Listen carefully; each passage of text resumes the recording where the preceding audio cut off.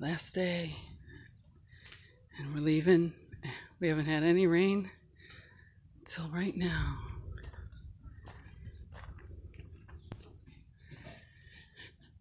We had such a great time staying in this yurt with family and friends. Our pop up camper's back there. We just popped it down. Today is August 16th, 2020.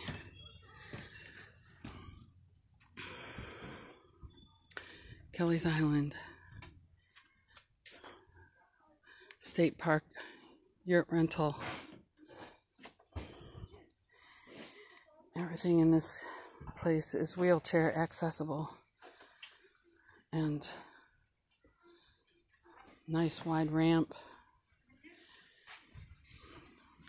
These uh, roll down. Actually, we got to do that, I think. I think we have to roll these down.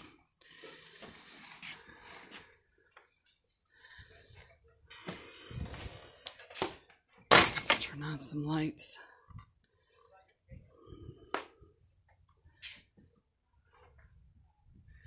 It's pretty, it's very nice. It's very, very nice. There's a nice shelving back here. Little storage place comes with a little fan.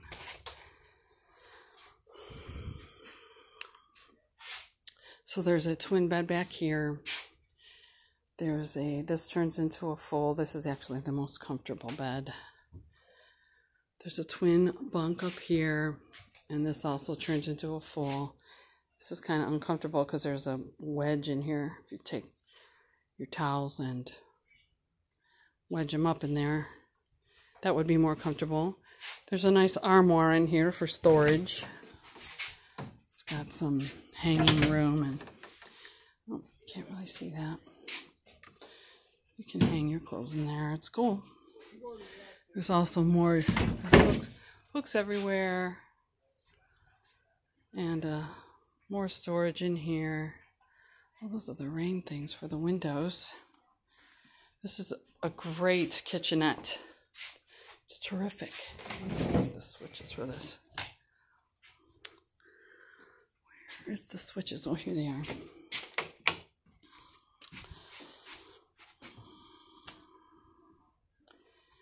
Nice microwave. It comes with teapot, toaster, and coffee pot, some oven mitts. Nothing in there. It's a smaller size refrigerator, but it definitely works for camping. Smaller stove, but it works great. Even the sink is wheelchair accessible here. This is the bathroom. It's nice, big bathroom. Really big. Full wheelchair can sit in here. Roll-in shower. No, you can roll the wheelchair right in there and it has a nice long extension for this. Okay, signing off.